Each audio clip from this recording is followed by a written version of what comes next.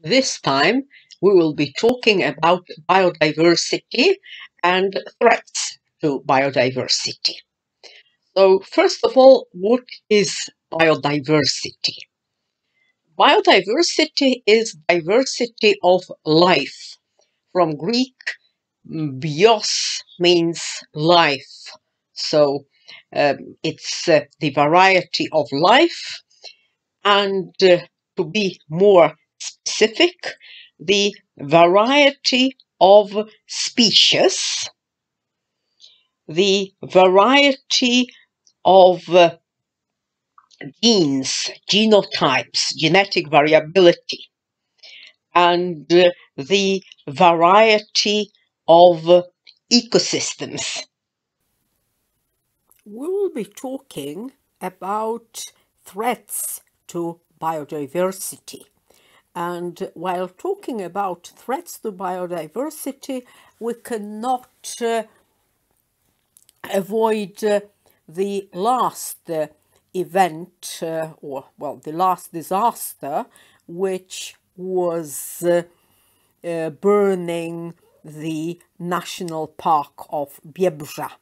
So the Biebrza National Park, it is natural park with uh, meadows, forests and nesting places for birds. And uh, on Sunday 19th of April 2020 it uh, mm, uh, it was set on fire. And now we know that the fire was uh, uh, was due to human fault so but uh, we don't know whether it was deliberate whether it was arson or whether it was uh, accidental mm, due to for example burning grasses. Burning grasses is a mm, custom or well the habit which is uh, still uh, which still occurs in Poland, although it uh, has been forbidden for several years now.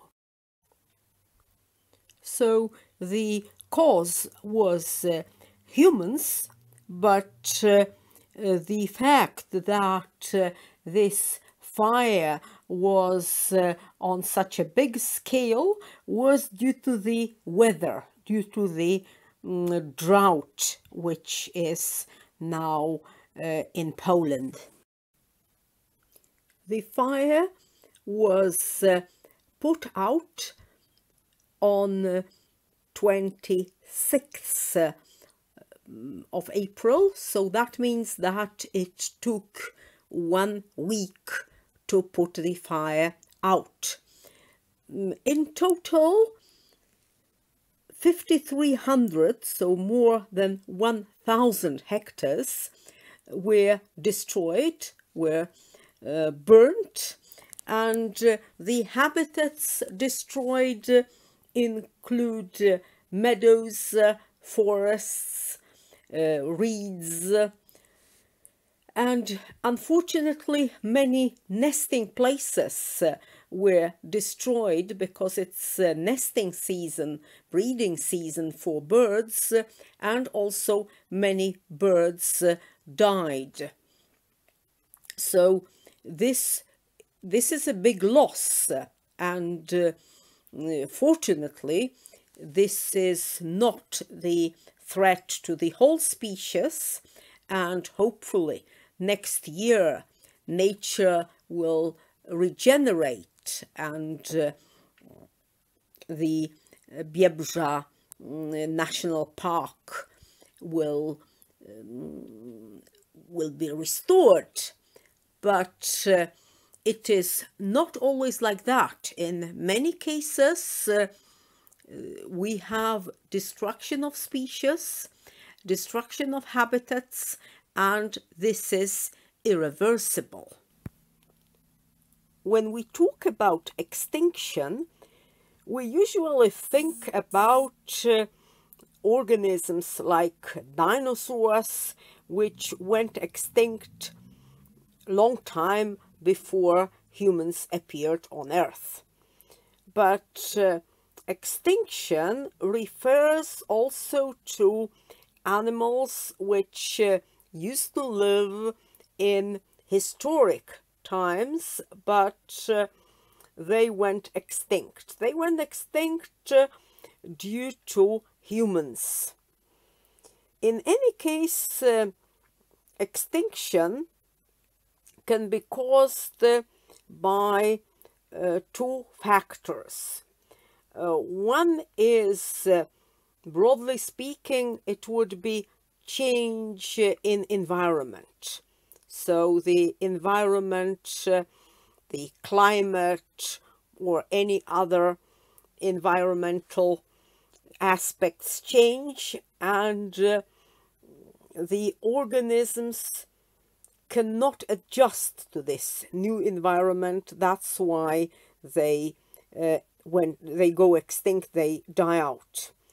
Uh, another case uh, of uh, uh, causing extinction of animals is uh, when mm, they are directly exterminated by humans, when they are hunted or they are mm, exterminated because they are regarded to be pests. And uh, in this case, uh, the cause is uh, directly human. In case of environmental changes, also in many cases humans are to blame, but uh, that's an indirect. I said that there are two causes, two major causes, or two groups of causes of extinction of species, but uh, I can add also third group of causes, uh, which is uh, introduction of new species. Obviously, that's uh, quite uh, paradoxical that uh, introduction of new species can um, be the cause of uh, the loss of biodiversity. But in fact, new species can transform the environment so that the environment uh, is not uh, good for the species which uh, live on the, that area or new species can also be um, direct cause for the extinction of uh, local species. It can go through competition with local species and it can also be direct uh, hunting on local species.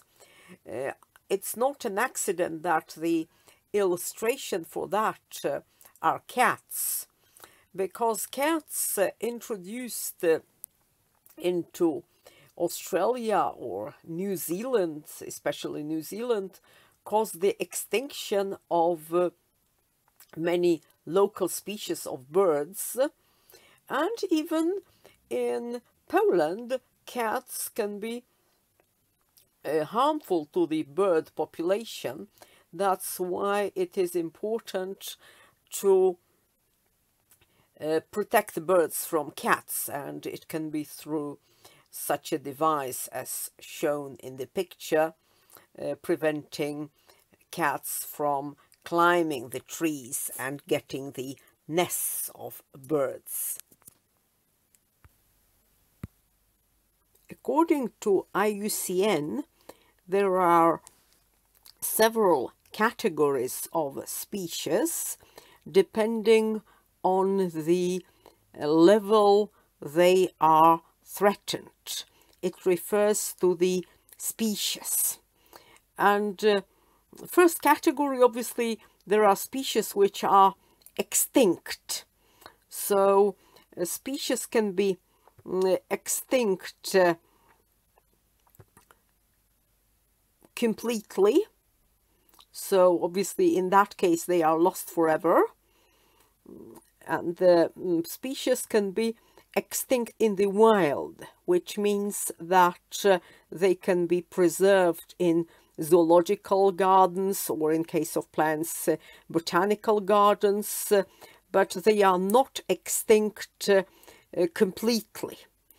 And mm, another category of uh, species are species which are threatened and uh, there are um, species which are critically endangered, endangered, vulnerable. And uh, there is the category of uh, lower risk, and uh, this category includes uh, species which are near threatened, also species which are conservation dependent, and species which are least concern. This category of least concern can be misleading because that doesn't mean that these species should not be looked after. And many of these species, like for example white stork, are included into, uh, for example, uh, the European Union uh, Bird Directive. So directive which uh, is about protection of uh, birds. And uh, why species become extinct, we know that it can be direct threat or indirect threat. And uh, I will give you now some examples of uh, extinction. Our first example is uh, Steller's uh, sea cow. This uh, was a species, uh, um, it was a mammal, uh, then the, the order was uh, Sirenia. And the mm, closest relatives uh, to this species uh, living nowadays are dugongs and uh, this was discovered in mid 18th century and uh, it is worth noticing that it went extinct only 27 years after its discovery. The cause of extinction was uh, overhunting and uh, it was uh, hunted because of uh, meat, because of fat, and uh, overhunting caused the, the extinction. And it lived uh, around the uh, Commander Islands in the Bering Sea, which is between Alaska and Russia. So the range was uh, very small and uh, small range is often something that uh, makes extinction much uh, more likely. Another example of an animal with uh, very limited range was, uh, and which went extinct, was the Falkland Islands uh, wolf or the Falkland Islands uh, uh, fox wolf or another name was uh. And uh, as uh, I said, this uh, animal, it was from the um, order of carnivores, carnivora, and mm, the family of dogs, dog family. And uh, this uh, mm, animal uh, fed on penguins. But the residents of the Falkland Islands thought that uh, the fox wolf hunted on sheep, as uh, usually wolves are uh, suspected of hunting on sheep, which is uh, sometimes true, and uh, in many cases it is not true. In this case, it was not true, and uh, often uh, when sheep are killed by um, some animals, uh, usually these are stray dogs and people think and in that case also thought that these were wolves. It was also hunted because of its uh, fur and uh, mm, unfortunately it went extinct. Its extinction was uh, predicted by Charles Darwin when he had his uh, voyage around the uh, world. So mm, he predicted the extinction. Here you have uh, some other examples of animals which uh, went extinct and which had very limited geographical range. But in some cases, even very numerous uh, populations and uh, populations with uh, very wide range uh, can get extinct and the whole species can get extinct this way. And uh, this is the case of the passenger pigeon. Uh, this um, species lived in North America and the last individual died in the zoo. It was 1914 uh, and the last uh, mm, individual mm, on large died earlier. In mid-19th century, these species was very numerous and uh, even counted in billions. But uh, in 1870s, it already became rare and there were attempts to protect this uh, species uh, to limit hunting but these attempts were futile. The cause of extinction is not clear. Uh, obviously, overhunting was important, but uh, probably also the change of the environment because uh, the trees growing on the prairies uh, were cut down, so uh, the groups of large trees and they nested on large trees in the middle of the prairies. And uh, when the changes in agriculture mm, took place these trees were cut down so maybe that was also the cause of uh, extinction one of the causes of extinction one should mention that uh, it is always uh, difficult to say about the causes of extinction and it is very rarely that there is one cause of extinction. Usually there is a combination of different factors. And now the example from Poland.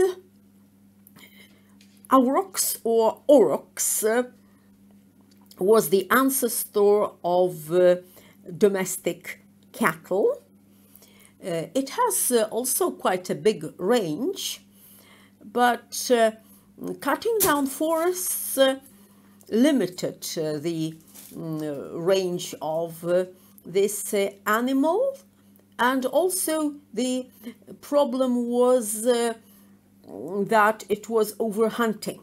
So uh, the aurochs uh, became rarer and rarer but the longest uh, time it uh, survived uh, was in Poland. The last uh, individual uh, died uh, at the beginning of 17th century.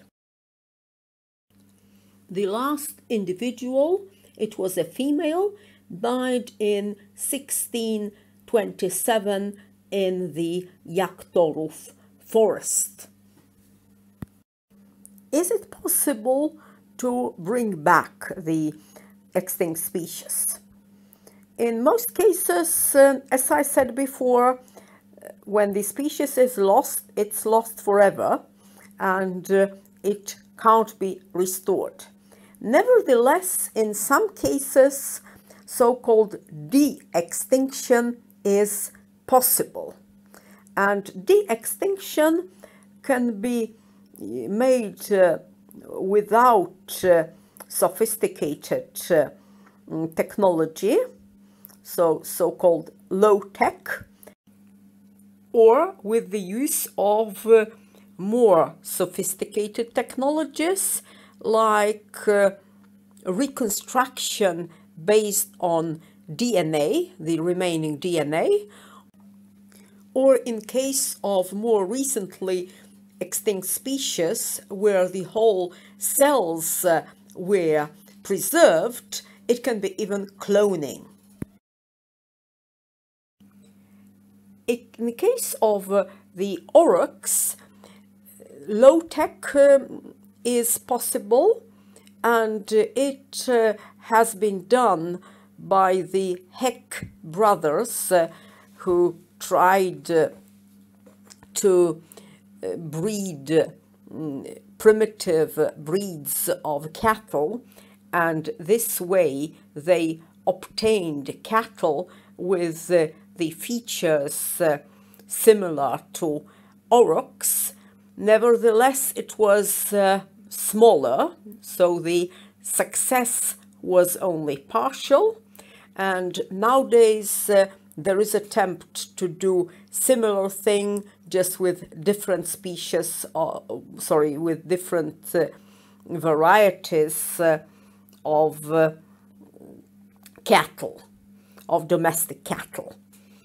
And uh, mm, also the attempt uh, is being made with the DNA. The DNA of uh, uh, aurochs was uh, identified and uh, mm, it is possible to supplement uh, the genetic code of uh, the cattle with the DNA of aurochs and uh, then in this case uh, the reconstruction of aurochs would be possible.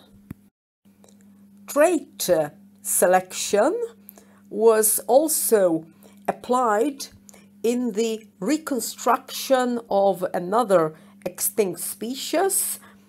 It was uh, quagga. Quagga is uh, the subspecies of the plain zebra.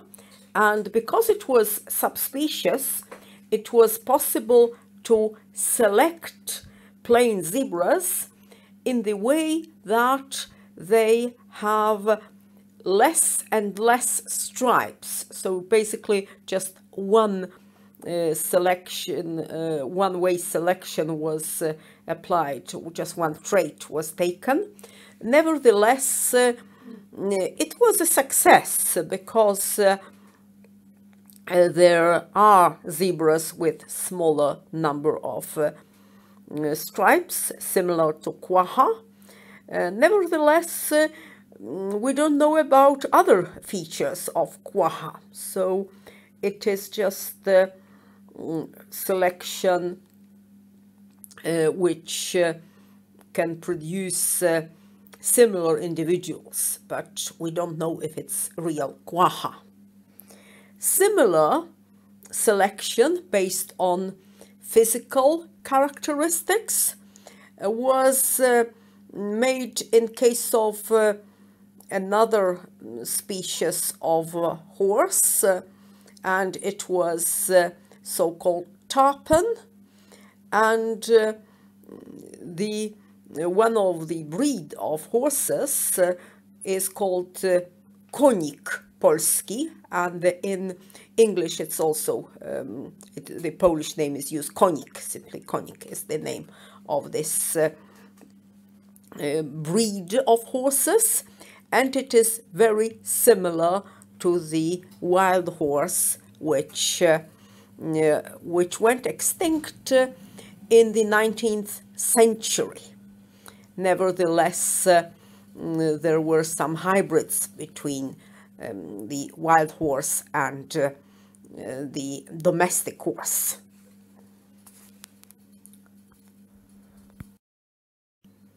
The technology based on the introduction of uh, DNA into the species which uh, still exist or the attempt uh, of uh, cloning.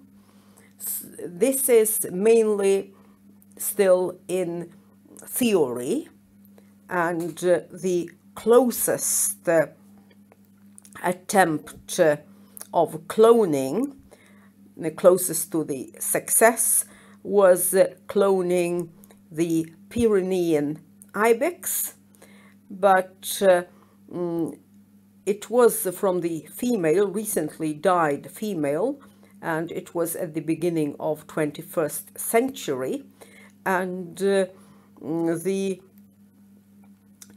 the uh, newborn mm, goat which was born uh, unfortunately did not survive. It survived only several minutes and uh, it died of uh, respiration problems, uh, but uh, mm, it was shown that it is still possible to um, clone um, animals, um, to clone even species which went extinct.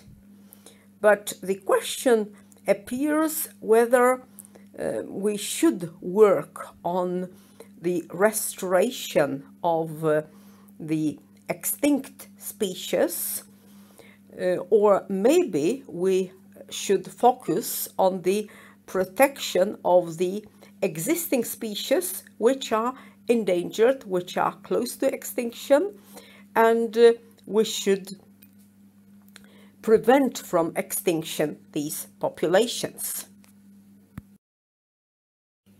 A good example of uh, the protection of a species which was uh, critically endangered or, or even extinct in the wild is the story of uh, the European bison. Another name is uh, Wisent or Wisent. The English pronunciation can be either original German pronunciation Wisent or uh, Wisent. So um, both are uh, correct. Uh, and uh, this species was extinct in the wild in 1921.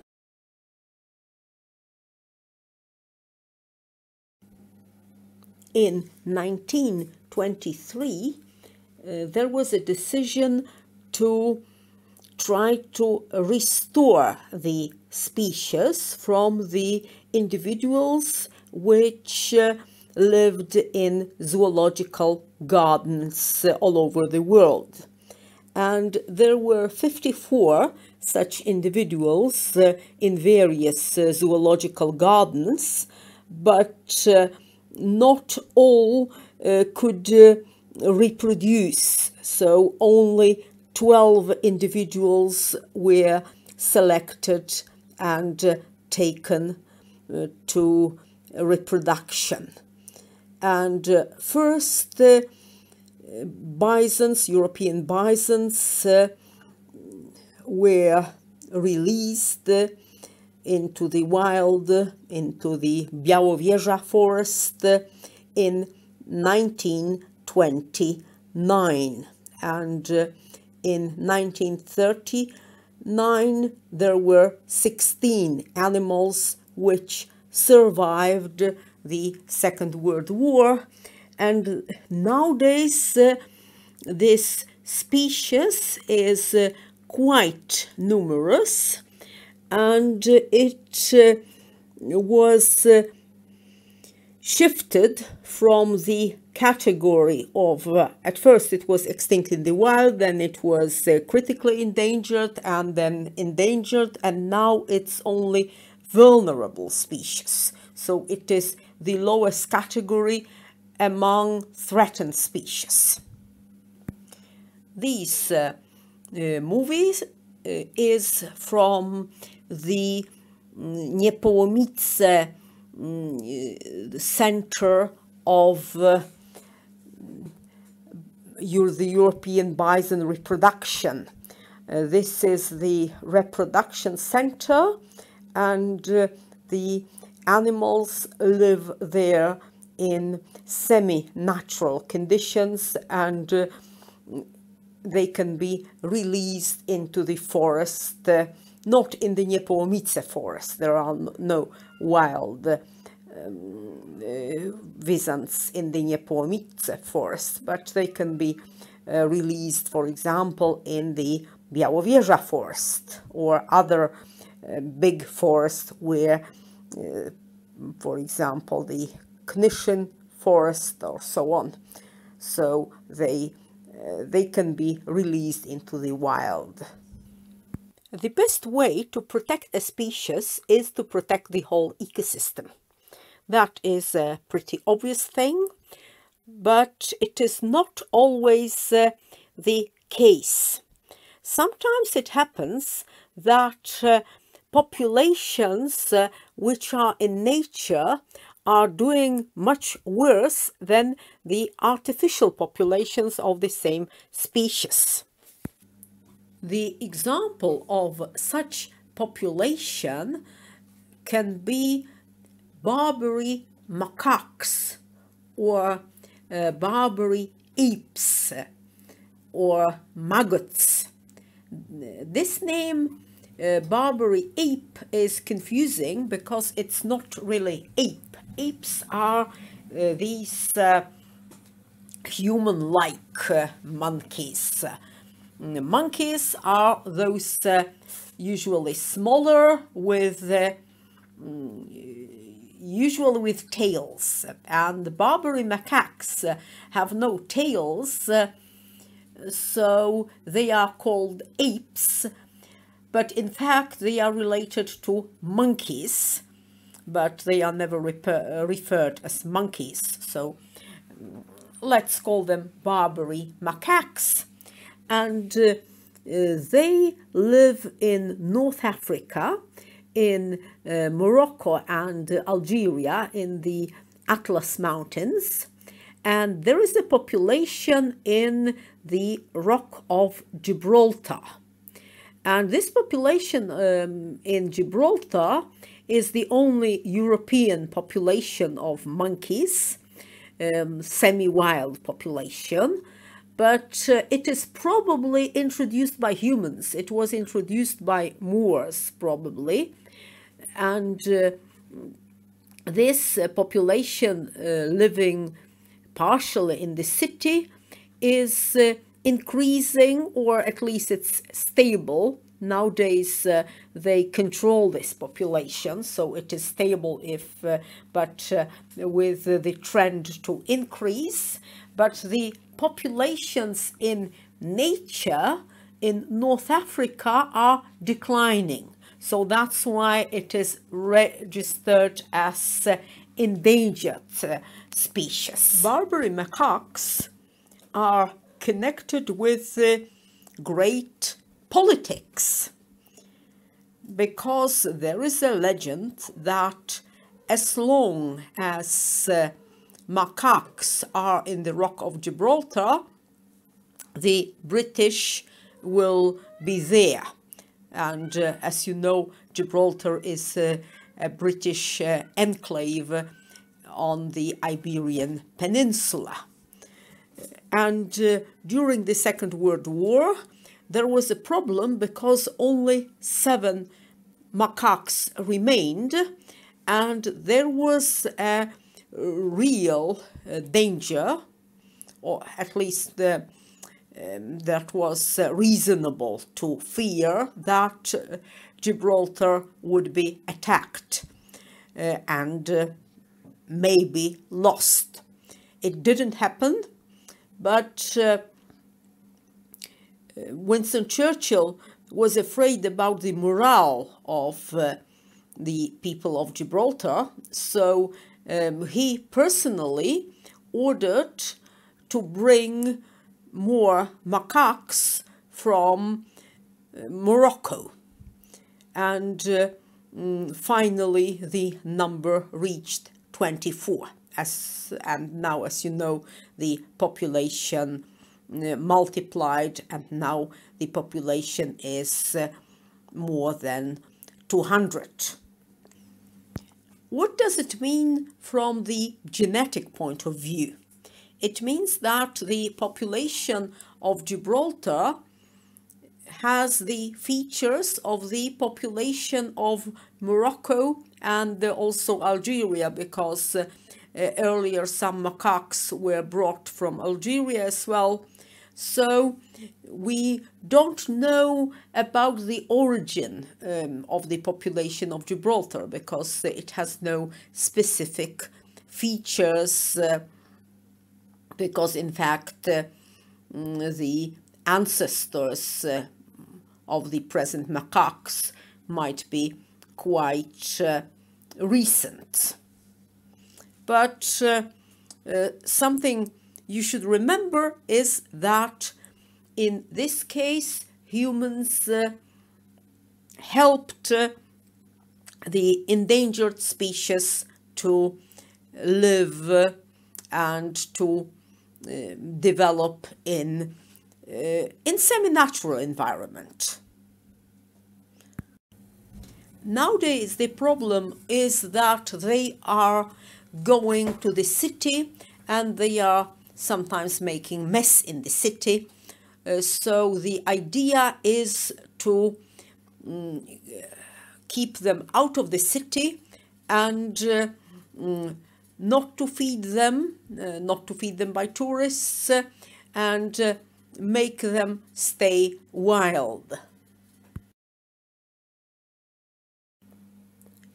As I told you before, although the best way to preserve uh, endangered species is uh, to keep them in natural environment, to protect their natural environment, but uh, nevertheless, uh, even completely artificial environment, not just semi-natural, but completely artificial environments like zoological gardens or botanical gardens uh, can help uh, uh in preventing from the extinction of animal and uh, plant species we haven't uh, been talking much about uh, the extinction of uh, plants, but the mechanisms of a plant extinction are similar to the mechanisms of animal extinction. So the rule is that uh, overexploitation is important. So in case of over exploitation of plants, uh, we um, can make them extinct. The plants which are likely to be extinct are the plants with the limited range. So endemic plants occurring in very small uh, location. So not numerous. A particularly notorious example in plant extinction is the island of St. Helena. It is in the middle of the Atlantic Ocean and uh, due to the far distance from the mainland, it is very rich uh, in endemic species but unfortunately many of these endemic species uh, went extinct. And I will give you just one example, which is uh, St. Helena olive. And uh, this was uh, just called olive, but it was unrelated uh, to the mm, Mediterranean olive tree. But uh, it was uh, it was also a tree, and uh, it uh, grew in the mountains, and it was discovered in 1977 uh, and uh, it uh, went extinct in the wild in 1994 and in 2003 the last individuals died in the mm, cultivated environment. The cultivated individuals also died. Um, and the cause uh, of extinction was uh, uh, deforestation, but uh, also the fact that they weren't able to self-fertilize and uh, the cultivation was uh, difficult because in most cases when plants, even if they are extinct in the wild, they can still grow in uh, artificial environment, in botanical gardens or simply in, in gardens. But in this case, it was difficult to grow this. And the further problem were pests and fungal infections and they attacked the seeds and unfortunately these plants went extinct. Fortunately in Europe we don't have many cases of extinct plants but uh, even though we have uh, uh, in France we have the case of cry um, violet which the name Cry comes from the uh, community of Cry. It was uh, a flower uh, which was uh, first discovered in 1860 and uh, it grew on the limestone hills uh, in the area of Cry.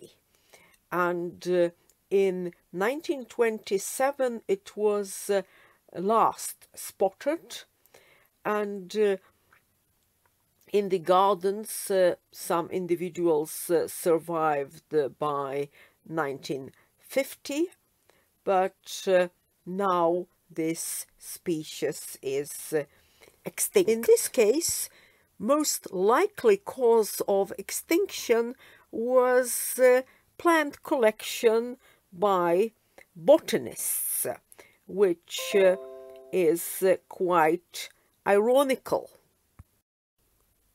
The last extinct plant I want to present you was uh, a very mysterious plant because we don't know much about this. We know that it was very important uh, for Egyptians, uh, for Minoan civilization, and also for Romans. And we know that it was from a Apiaceae family, so the same family as celery, carrot, uh, fennel. Actually, it looked like uh, a huge fennel, but uh, we don't know more about this. The Latin name of this plant was uh, Silphium. Nowadays the name Silphium is used uh, to a totally different plant from different family, uh, but uh, it was uh, Latin name used for the this plant. Another name was uh, Silphion. The English name is laserwort or laser. It uh, the word laser is connected with the uh, resin, which uh, was uh, the most valuable product of this plant and this plant was uh, very expensive and it was uh, an essential item of trade from ancient North African city of Cyrene. Cyrene was uh, a Roman uh, uh, in a Roman uh, province in North Africa and uh, nowadays it's in Libya and it was considered to be very valuable um, medicine and uh, it was believed to treat many diseases.